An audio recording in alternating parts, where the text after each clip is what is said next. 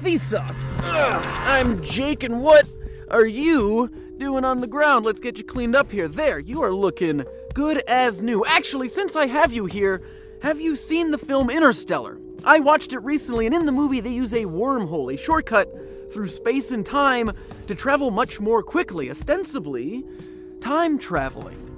And that got me thinking about a problem, a complication with time travel paradoxes, like the bootstrap paradox, which has been used in things like the Ocarina of Time, Time Splitters, Terminator, and Back to the Future. It's when information or objects are never really created. Their existence starts by coming from the future and ends when they go in the past to become themselves.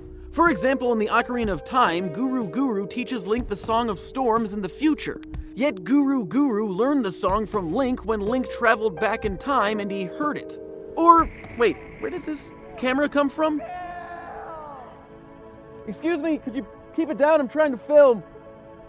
You know what? Let's go back in time a little and do the predestination paradox.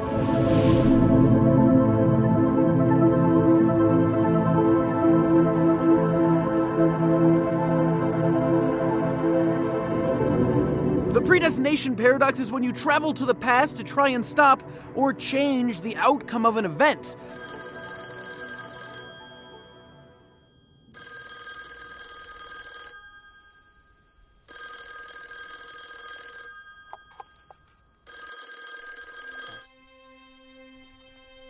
Hello? Jake.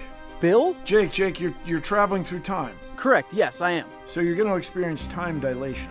What you and I think of as the speed of time being constant. I mean, even when we're in a hurry, even when we lose track of time, we nominally imagine a clock that's running at a constant rate relative to the universe, but that turns out not to be true. It's not that the speed of time is constant, it's the speed at which energy can move is constant. This is to say, the speed of light. So, I want you to be careful of this because when you look at your watch, it'll look like time is passing at normal speed, normal rate. But in fact, the universe is moving along at its own speed, and when you try to reconnect with it, you may end up changing the course of history in such a way that you never exist. And neither do I.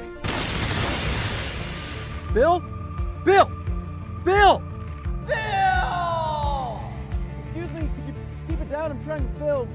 So, with the predestination paradox, you going back in time to try and stop an event is what causes it in the first place, which then leads to future you going back in time to try and stop it. We, we should move.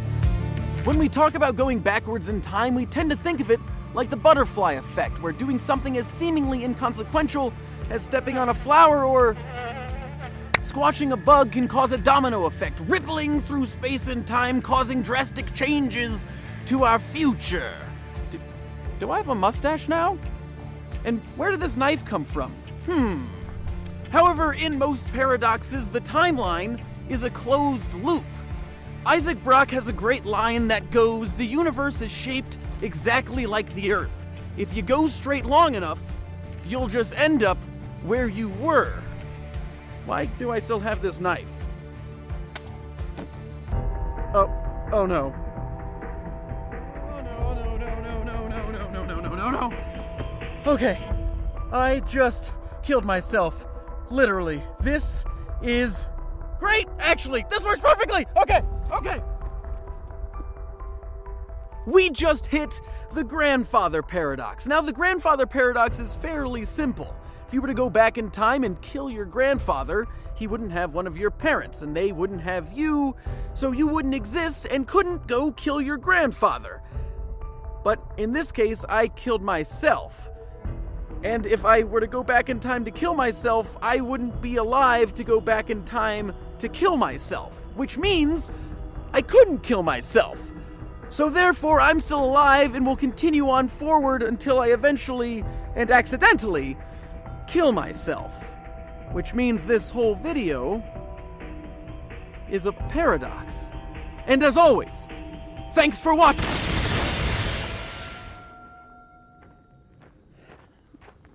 Vsauce. Ugh, I'm Jake, and what are you doing on the ground?